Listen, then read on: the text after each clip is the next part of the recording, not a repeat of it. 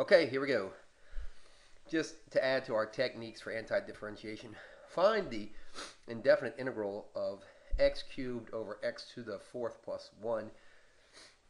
This one actually took a little bit of thinking. Sorry, I should have said dx at the end. So there's that. Now this one took a little bit of thinking. But as you look at the bottom piece, doesn't it look like the numerator might be the derivative of the denominator? That this is the derivative of this. So it makes me think of the, the, the derivative of ln of f of x, which is 1 over f of x, possibly, times f prime at x, probably. So I kind of started out there.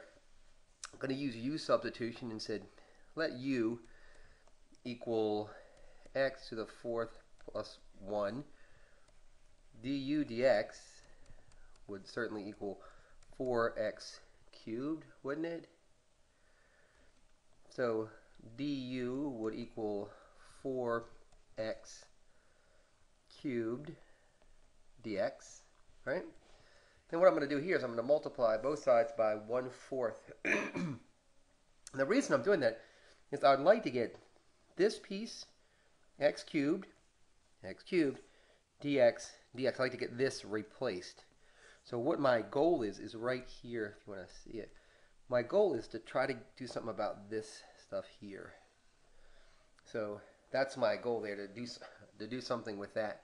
So here we go. So multiply both by 1 fourth, so we have du, whoa, hello. We have du over 4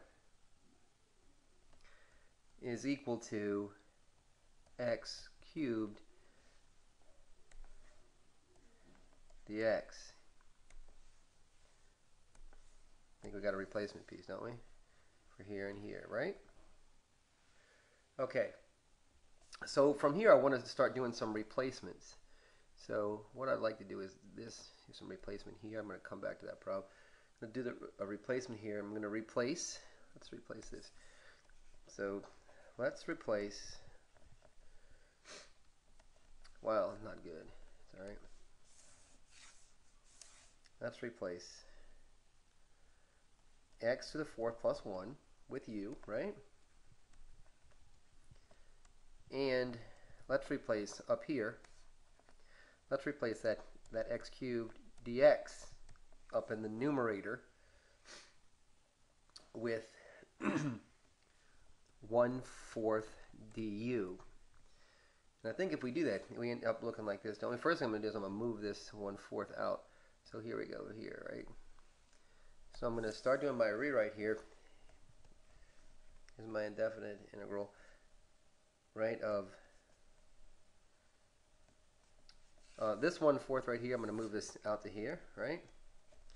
And look, du force this, here's this, that's this one-fourth is this one, right? so I'm going to replace my x cubed dx with this du, right? And du times 1 fourth is that 1 fourth du, isn't it? Okay. Over, and then at the same time we had x squared, uh, sorry, x to the fourth plus 1 in the denominator, but that's what we use our u substitution to let that be u. And we have this now, don't we? Okay, so let's look at this simplify out a little bit more. I'm going to simplify this out this way. I'm going to simplify this out as 1 fourth, the derivative, of 1 over u. That's our ln, isn't it? Right? This is our, our derivative of ln of x here, isn't it? and then replace, sorry about that, our ln of u du, right? du. This du right here is this du right here. Now, hopefully, we can really recognize this, right? And this, remember, we said that this is our f of x down here, didn't we? Right? Because when we took the derivative of ln of x, when we took the derivative of ln of x, it was 1 over f of x. So that makes this f of x. So that's what makes me think this is ln. So we have, now we have 1 fourth This is as I integrate 1 fourth ln u is x to the fourth plus 1 and that c value at the end. So I guess if you're asking, well, how do we get there? Looking, just we've been talking about this all chapter long about recognizing patterns, recognizing things, recognizing um, derivatives. So that's how I got to where we got. Okay, I'm going to do another problem like this. I'm going to do that problem that you guys are interested in, that, that E problem. And I'm going to go ahead and start setting that up, and I'll get it up as quickly as possible. So um, keep up the good work, please.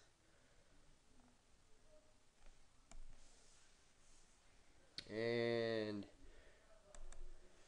drive carefully and don't shave while you drive. So that was SpongeBob.